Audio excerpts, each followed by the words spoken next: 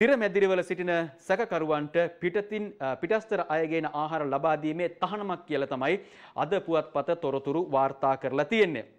අද පුවත්පතේ මේ තොරතුර වාර්තා කිරීමේදී මෙහෙමත් සඳහනක් කරනවා ආදුරුපු විදිය පොලිසිය මැදිරියේ සිටි දෙදෙනාට විශ සහිත කිරිපැකට් දුන් පුද්ගලයා හඳුනා ගනී ආදුරුපු විදිය පොලිසියේ තිදෙනෙකුගේ වැඩ තහනම් කියලත් පුවත්පත තොරතුරු වාර්තා කරලා තියෙනවා. මේ මේ තොරතුර තුල තමයි අද පුවත්පත තුල තමයි වාර්තා කරලා තිබුණේ. අර මම කලින් කිව්ව කාරණය මේ මේ පුද්ගලයා හඳුනාගෙන තිබෙනවා. ඒ පුද්ගලයා සම්බන්ධයෙන් විමර්ශන පැවැත්වෙනවා. ඒ වගේම තමයි සිර මැදිරිවල සිටින සැකකරුවන්ට පිටස්තර අයගේන ආහාර ලබා දීම නතර කරන්න කියලා මේ වන විට කොළඹ ප්‍රදේශයේ සිටින සියලු පොලිස් ස්ථානවලට දැනුම් දීමක් සිදු කරලා තියෙනවා කියලා තමයි තොරතුරු වාර්තා වෙන්නේ. ඒ නිසා විශේෂයෙන්ම කොළඹ ආශ්‍රිතව ගත්තොත් විවිධ අපරාධ සහ ඒ වගේම චෝදනා එල්ල වූ පුද්ගලයන් සිර මැදිරිය තුල රඳවා සිටිනවා.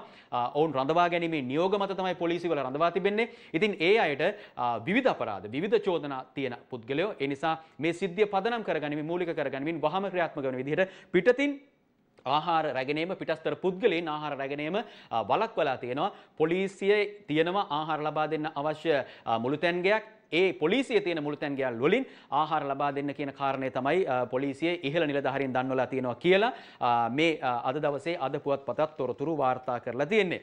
ඉතින් අද පොඩ්ඩක් මේ මේ මුලින්ම අපි කතා කරන්න හිතුවා මොකද අපරාධ යම්කිසි විදිහේ රැල්ලක් විදිහට පැවතීමේ තත්ත්වයක් පේන්න තියෙනවා. මේ කිසිසේත්ම රට තුල තිබිය යුතු තත්ත්වයක් නෙමෙයි මේ වගේ අවස්ථාවක ආර්ථිකව වැටිලා ජනතාව පීඩාවටපත් වෙලා. ඒ ASCII මේ අපරාධත් එනවනම් ජනතාවට ජීවත් වීමේ අයිතිය පිළිබඳව සහ ජීවත් වීම පිළිබඳ මහා ගැටලුවක් ඇති වෙනවා. ඒ නිසා මේව වළක්වා ගන්න සහ වළක්වන්නට සිදු කරන පරීක්ෂණ එහි ප්‍රගතිය ආරක්ෂක අංශවල තියෙන දායකත්වය මේව සම්බන්ධයෙන් අපි කතා කරන්නේ මේවා වළක්වා ගන්නට. තියෙන අපරාධ වළක්වා ගන්න නැතිනම් නැති අපරාධ උලුප්පා දක්වන්නට නෙවෙයි කියන කාරණයක් විශේෂයෙන්ම මතක් කරනවා.